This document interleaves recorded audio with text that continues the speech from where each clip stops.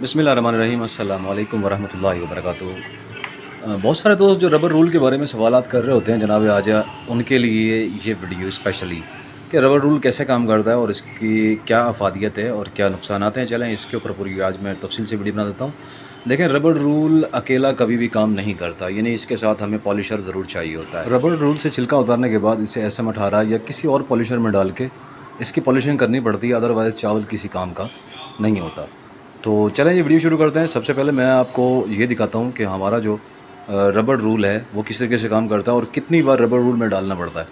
तो सबसे पहले हमने पहली दफ़ा इसमें डाला है धान मशीन धान को जो कि सुपर कायनात की वैरायटी से ताल्लुक़ रखता है।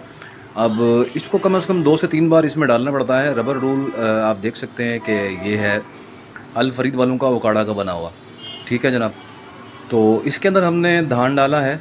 पहली दफ़ा में ये थोड़ा थोड़ा छिलका उतारता है, फिर हमने इसको दूसरी दफ़ा भी डालना होता है, जब दूसरी दफ़ा डालेंगे आप इसकी चाल खुली भी देख सकते हैं, इसमें अभी जितनी मकदार आ रही है, उसकी वजह ये कि फ़र्स्ट टाइम के लिए थोड़ा चाल को कम खोलना पड़ता है, ताकि अच्छी तरीके से छिलका रगड़ कर उतर जाए।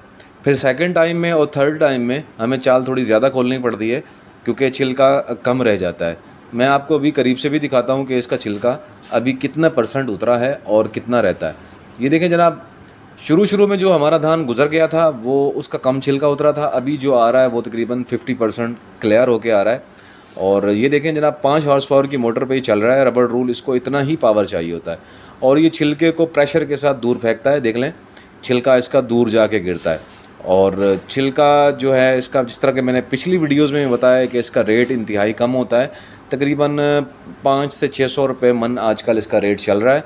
और ये ईंटों के भट्टे वाले और मुर्गियों के फार्म वाले इसको ख़रीदते हैं, वो भी तकरीबन उनके भी जलाने या फिर नीचे डालने के काम आता है फार्म में। तो अल फरीद का ये हमारा रबड़ रूल चल रहा है, उकाड़ा का बना हुआ। और इसकी अभी आप देख लें, चाल जितनी खुली हुई है, उसी हिसाब से ये काम कर रहा है। तो ना जी तो अब दूसरी बार अब इसमें डालने की बारी आ रही है। फ़िलहाल आप मशीनों की इस मशीन की पुलियाँ देख लें। किस तरीके से इसमें बहुत सारे चक्कर दिए हुए हैं। तो तगारी के अंदर कुछ लगा हुआ रह गया वो मैं आपको करीब से जूम करके दिखाना चाहता हूँ कि किस तरीके से ये निकल रहा है। देखें जनाब, अक्सर व बेशतर चावल साफ़ हो गया लेकिन इस हालत में ये काला नज़र आ रहा है। क्योंकि रबड़ रूल काले होते हैं प्लास्टिक के तो उस, उनकी कालक भी इन पर आ जाती है। अब इसके बाद जनाब अली, क्योंकि ये एस में जाएगा, तभी पॉलिश होगा। तो जनाब अली, इसको ज़्यादा आरपीएम भी नहीं चाहिए होते, बहुत कम आरपीएम पे चल रहा होता है। और इसकी जो सेटिंग है, वो यही है कि इसकी जो बड़ी पुली है, वो आठ की है और नीचे चार की, साढ़े चार की पुली लगी होती है। यानी कि इसको कुल मिला के आठ सौ से नौ सौ आर ही चाहिए होते हैं। तो दूसरी बार में, जो है ना, इसका तकरीबन नाइन्टी परसेंट, यानी नबे फ़ीसद छिलका उतर कर साफ़ हो जाएगा। तो फिर उसे हम तीसरी बार भी डालेंगे। जब हम तीसरी बार डालेंगे, तब ये मुकम्मल तौर पे साफ़ हो जाएगा और एस एम अठारह में डालने के काबिल हो जाएगा।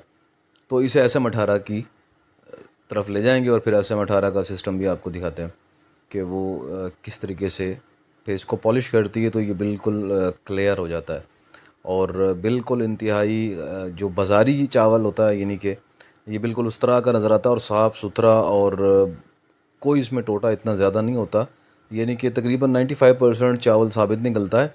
वो इस, ये अलग बात है कि जो चलाने वाला है, उसको चलाना कितना आता है और वो कितना मशीन को हैंडल कर पाता है, वो उसके ऊपर मुनसर होता है। अदरवाइज़ चावल निकालने के लिए ये मशीन एक बेहतरीन मशीन है। और ये जना दूसरी बार हमने जो है ना अपनी बोरी इसमें खाली कर दी है।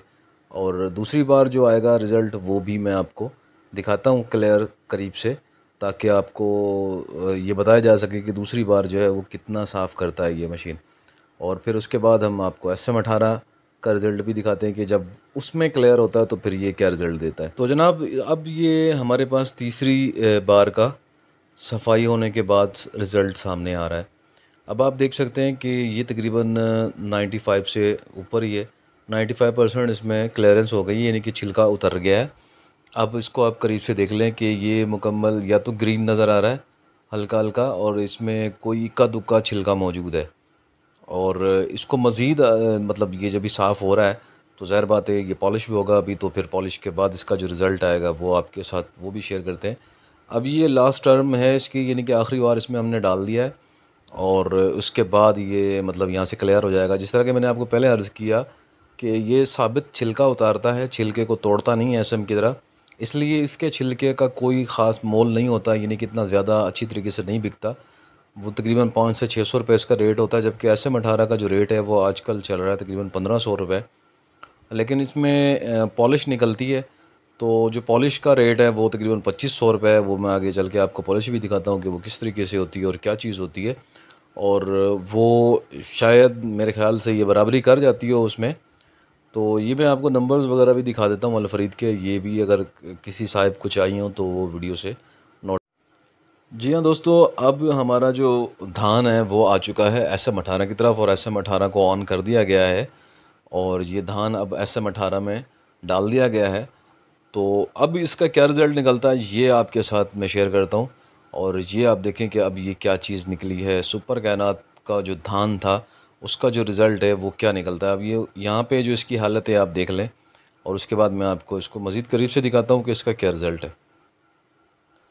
ये देखें जनाब, अब जो हमारा चावल है, वो बिल्कुल उस कंडीशन में, यानी उस हालत में आ गया है, जो एक बाज़ारी चावल की हालत होती है।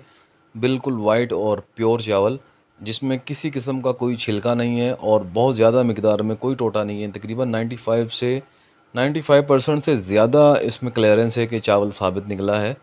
बग़ैर किसी किस्म के नुकसान के।